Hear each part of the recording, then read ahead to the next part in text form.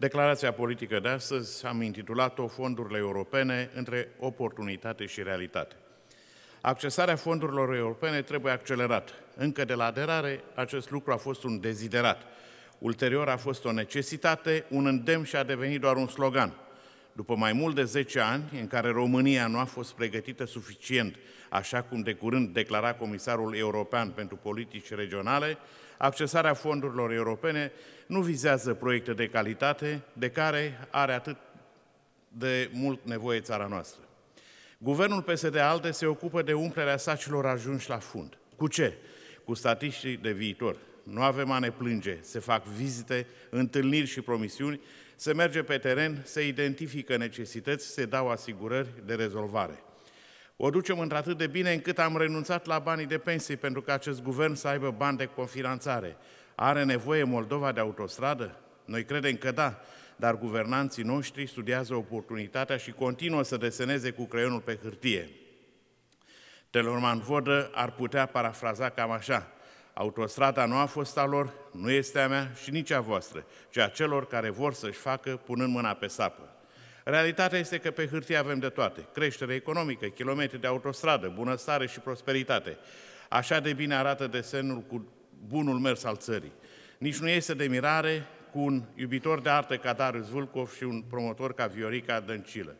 De fapt, la guvern se desenează, se pictează și, uite așa, nu foarte încet, nu va mai scăpa nimeni și vom ajunge cu toți la sapă de lemn.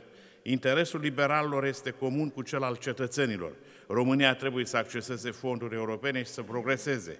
Fiecare român trebuie să fie conștient că o țară nu se poate dezvolta desenând și vânzând iluzii.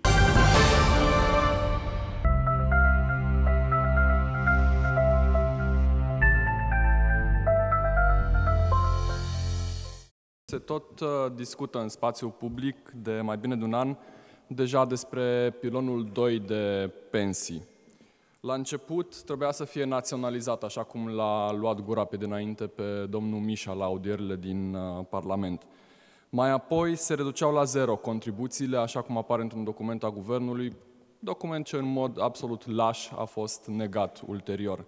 Mai nou auzim de la Olguța Vasilescu acea extraordinar de competentă ministra a muncii, care a trebuit să-i descoper eu personal faptul că e contributor la pilonul 2 de pensii, mai nou auzim că l-au bătut în cuie, precum un sicriu.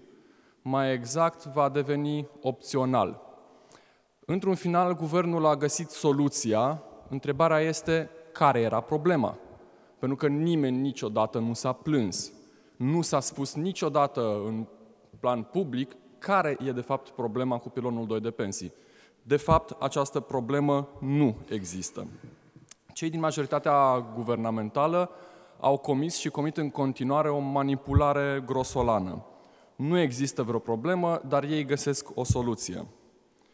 Problema pe care încearcă să o ascundă Guvernul României este faptul că au sărit cu cheltuielile dincolo de gard.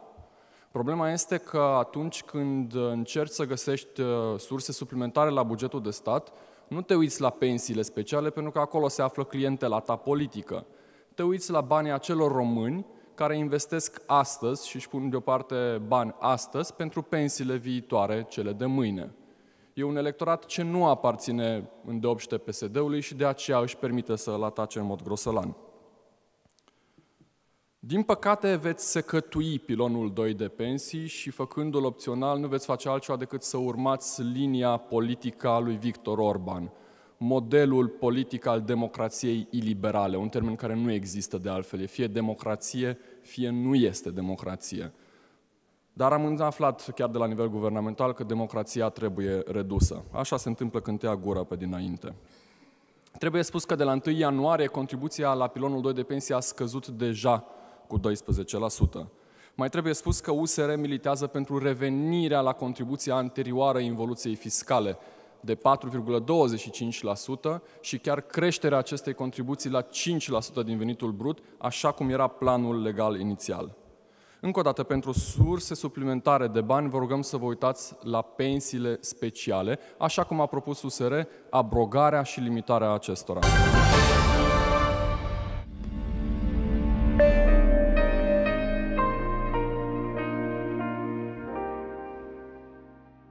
Domnule ministru Iordache, dragi colegi, peste exact două zile lumea întreagă va fi animată, va sărbători cel mai frumos moment al uh, anului, ziua copilului.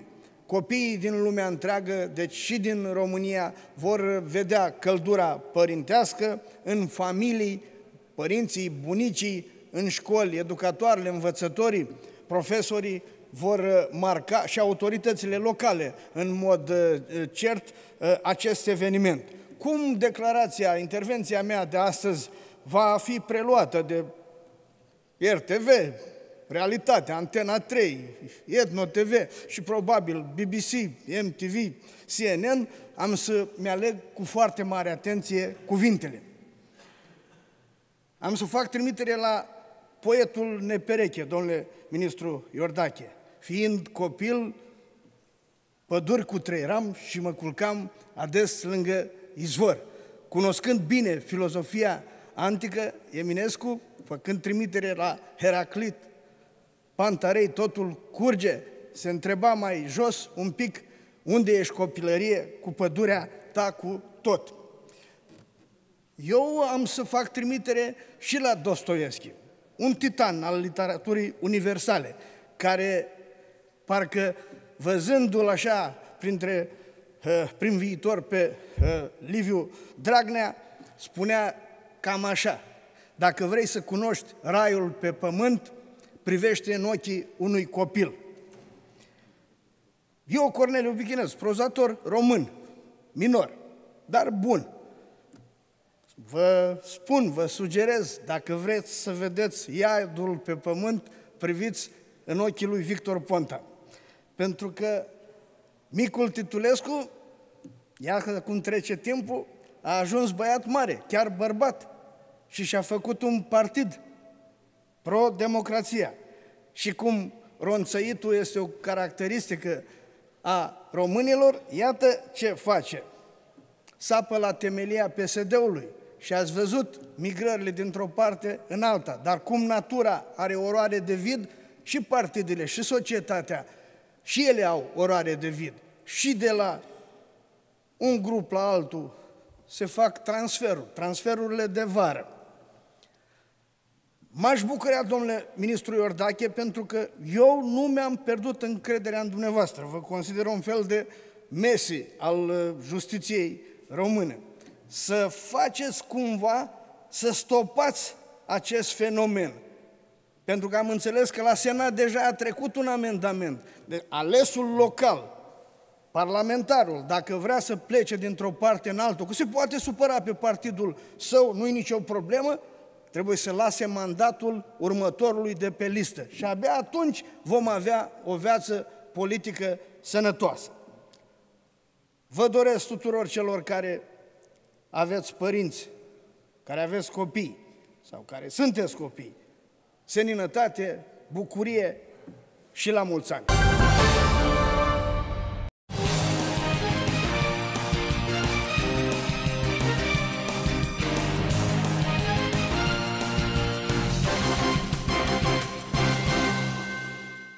Directiva privind consolidarea anumitor aspecte ale prezumției de nevinovăție și a dreptului de a fi prezent la proces în cadrul procedurilor penale, adoptată de către Parlamentul European și Consiliul Uniunii Europene la data de 9 martie 2016, a intrat în vigoare la data de 31 martie 2016 și trebuia pusă în aplicare de către statele membre prin lege, dar și prin actele administrative necesare până la data de 1 aprilie 2018. În data de 6 aprilie 2016, o inițiativă legislativă în acest sens a fost înregistrată de către UDMR. În Senat a primit aviz favorabil de la Comisia pentru Drepturile Omului, iar în urma dezbaterilor din Comisia Juridică și celor din ședința comună a Comisiei Juridice și a celei pentru Constituționalitate, nu s-a reușit depunerea vreunui raport, deși termenul era de 20 septembrie 2016, din cauza tergiversărilor Ministrului Justiției, condus de către Ministrul Prună. În data de 27 decembrie 2016, Biroul Permanent al Senatului nou ales, prin interpretarea aliniatului 5 al articolului 63, 63 al Constituției, a considerat că inițiativa trebuie clasată. Astfel s-a pierdut un an. În 2017, grupul nostru a depus din nou inițiativa, iar aceasta a trecut prin adoptare tacită de Senat și stă nedezbătută la Cameră. Deși am atras atenția asupra pericolului de infringement, am fost liniștiți că nu există nicio grabă, iar legislația țării corespunde directivei. Iată însă că procedura de punere în întârziere a fost declanșată. Poate, totuși ar trebui să fie adoptată urgent inițiativa, chiar dacă unii s-ar putea să o atace la Curtea Constituțională.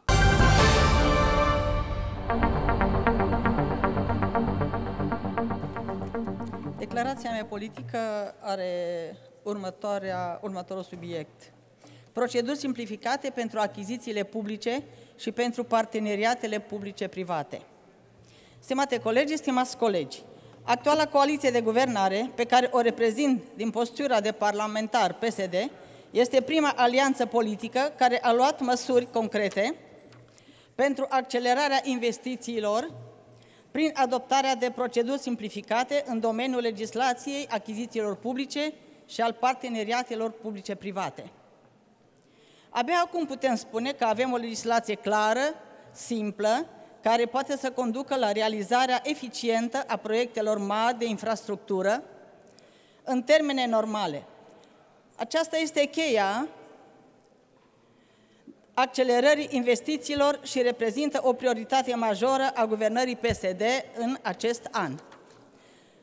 În noua formulă legislativă a achizițiilor publice se debirocratizează masiv procesul, se reduc termenele, se descurajează contestațiile abuzive și se clarifică atribuții instituționale care frânau sau chiar blocau investițiile publice. Astfel, vor fi descurajate contestațiile nejustificate prin introducerea cauțiunii pentru depunerea contestațiilor la Consiliul Național de Soluționare a Contestațiilor, precum și a taxei pentru depunerea plângerii la Curtea de Apel. Totodată, are loc o simplificare a procedurii de contestare prin eliminarea notificării prealabile, prin instituirea de reguli clare privind emiterea deciziilor Consiliului Național de, Soluționare a Contestațiilor și prin scurtarea termenelor de soluționare a plângerilor la Curtea de Apel. După semnarea contractului de achiziție, singura autoritate care va mai controla legalitatea atribuirii va fi Curtea de Conturi. Ajustarea rapidă a contractelor de achiziții va putea fi făcută astfel încât să, se, să nu se mai irosească timpul pentru a relua procedurile de atribuire în cazul unor modificări neesențiale prin reducerea numărului de etape de evaluare a ofertelor și prin simplificarea achiziției directe după modelul Comisiei Europene.